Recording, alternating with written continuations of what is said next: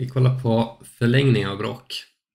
Det vill säga att när vi har ett bråk, då kan vi multiplicera bråket med 1 och det kommer inte påverka bråket någonting.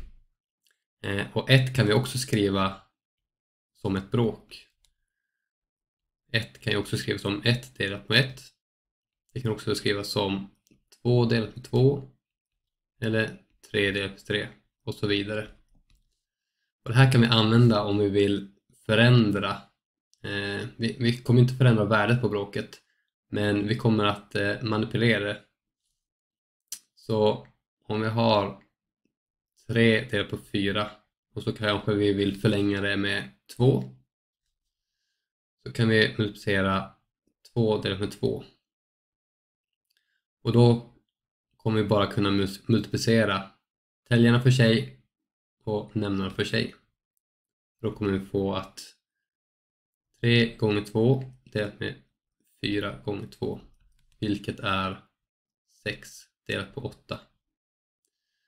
Och i det här fallet så säger man att man förlänger med 2. Om vi tar ett till exempel så kan vi kolla på en fjärdedel och sen om vi vill förlänga med 3 så multiplicerar vi med 3 delat på 3 vilket är 3 delat på 12. Så då har vi förlängt en fjärdedel med 3.